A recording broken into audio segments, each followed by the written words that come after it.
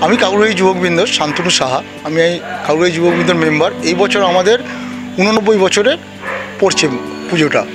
এই বছরের ভাবনা হচ্ছে ভোরাই, এক অন্য ভোরের গল্প। আমাদের এবারে চিন্তা ভাবনা যে অন্ধকার থেকে আলোর দিকে যাত্রা। আমাদের প্যান্ডেলে প্রথমেই থাকবে একজন রোজকার খেটে খাওয়া মানুষ, সে আলোর ভিক্ষা করছে। তারপর থাকবে এক বিশাল নৌকা। সেই নৌকা হচ্ছে আমাদেরকে অন্ধকার থেকে আলোর দিকে নিয়ে যেতে নিয়ে যাবে। নিয়ে গিয়ে সূর্য, একটা বিশাল সূর্য থাকবে, সেই সূর্য গিয়ে ধাক্কা খাবে এবং সেখান থেকে আমাদের আলোর যাত্রাটা শুরু হবে।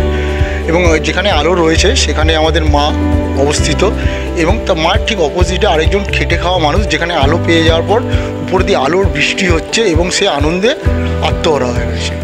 এর মধ্যে আমাদের এই বছরের একটু সোশ্যাল মেসেজও দিতে চেয়েছি দর্শকদের যে, হাল কোনো দিন ছিল না।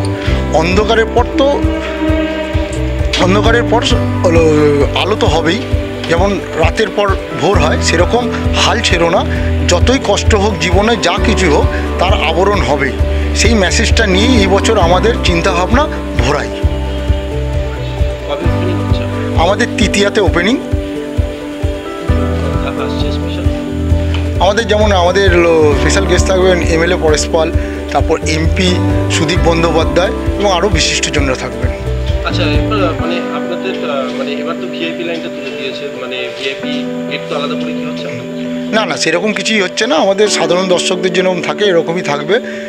আর আমরা সেরকম যেহেতু আমাদের প্রশাসন থেকে বারণ করে দেওয়া আছে ভিআইপি গেট বা এরকম কোনো স্পেশাল অ্যাক্টিভিটি করার জন্য তার জন্য তার জন্য আমরা সব কিছু এবার চিন্তাভাবনা এসব থেকে বাদ দিয়ে দিয়েছি।